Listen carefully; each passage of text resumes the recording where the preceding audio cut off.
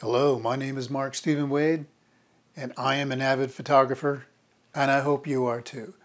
I just wanted to drop a quick note to remind everybody that we are headed toward full knowledge of photography skills on the technical side. Those, those technical skills will apply to portraits, landscape, bird photography, and all sorts of whatever you can think of.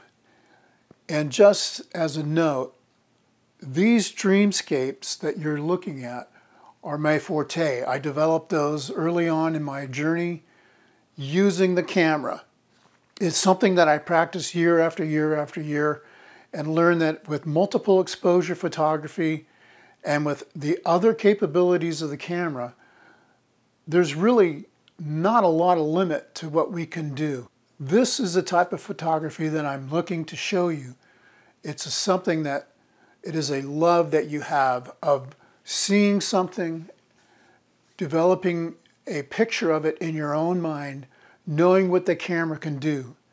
I mean, understand this. You can turn up the sun. You can turn down the sunlight within your photograph. That is very powerful. That is just the beginning.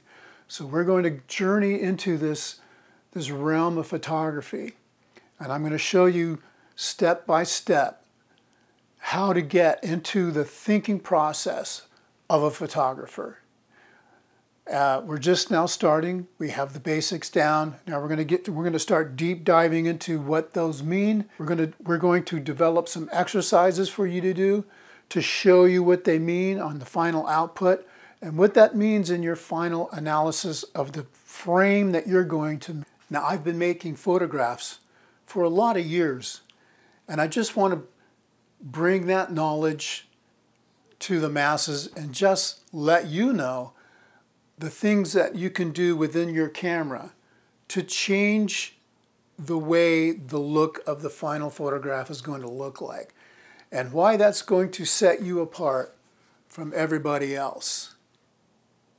One of the first things that I haven't talked about yet, and I should have, is that we need to get into manual mode to learn the camera and how it works. That is one of the first things you need to do before you get into the basics. It's important to do that. And when you become proficient at photography, you don't necessarily have to stay in manual mode. In fact, most people get out of that manual mode. Sometimes they use uh, shutter priority or, or aperture priority depending on, on what the situation calls for. But it's important to understand how your camera works and what you can do to make it do whatever you want it to do. And that's what we're looking to do here. So thank you for listening, and uh, we'll see you later.